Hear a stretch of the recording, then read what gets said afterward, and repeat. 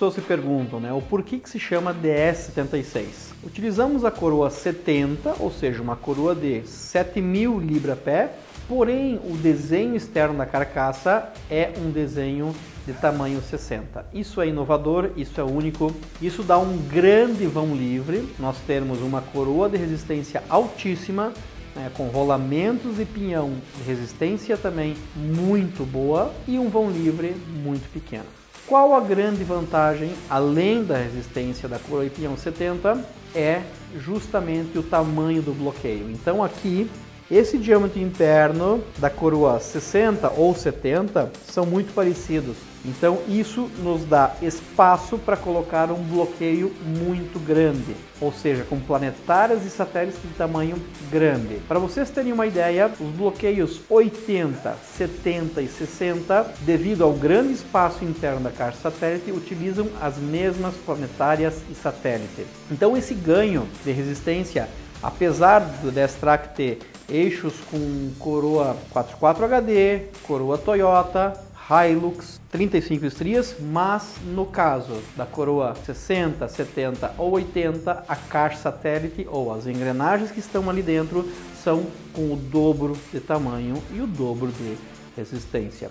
Isso sem falar na grande vantagem do diferencial 76, também é os rolamentos de caixa satélite. São muito maiores que os rolamentos 44 HD, que os rolamentos 44, que no caso da Bandeirante ou da 44 HD utilizam um bloqueio, entre aspas, tamanho 44.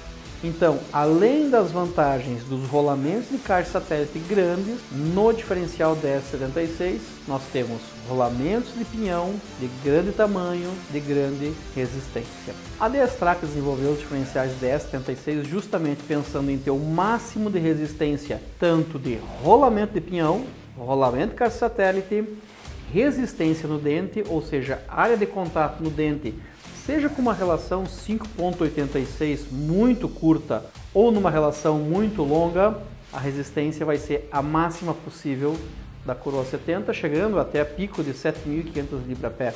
Além de um grande bloqueio, né, seja ele elétrico ou pneumático, a Destra tem as duas opções, ou spool em caso de competição, um bloqueio mais barato, um bloqueio de 35 estrias com uma altíssima resistência equilibrada entre toda a carga do pinhão, rolamentos do diferencial e também do bloqueio.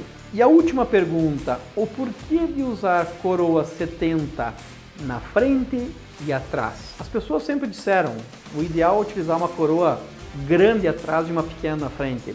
Bom, isso é uma situação não off-road e você irá utilizar o veículo numa situação de carga extrema no diferencial traseiro. Use em asfalto. Na situação off-road, é muito diferente. Por que, que utilizamos coroa grande na frente e grande atrás? Primeiro, peso do veículo. Geralmente os veículos têm peso 70%, 60% em cima do eixo dianteiro. E sempre, num movimento de impacto, numa trilha, num salto, numa competição, o eixo dianteiro sempre vai estar no ar, sempre vai ter um maior impacto que o eixo traseiro. Esse aumento de carga, de impacto e de tração no eixo dianteiro faz que nós tenhamos que ter uma coroa muito forte na dianteira e uma coroa boa na traseira para situações não off-road, né, situações que tenham é, somente tração uh, no eixo traseiro. Que é diferente de uma situação de competição ou de trilha extrema, onde sempre vai estar acoplado as quatro rodas, os dois eixos diferenciais. Por isso que a gente tenta equilibrar isso para situações piores possíveis. A DS Track pensa no projeto dos diferenciais em situações de off-road puro e uso extremo, né, onde os dois diferenciais têm que dar o máximo possível de carga.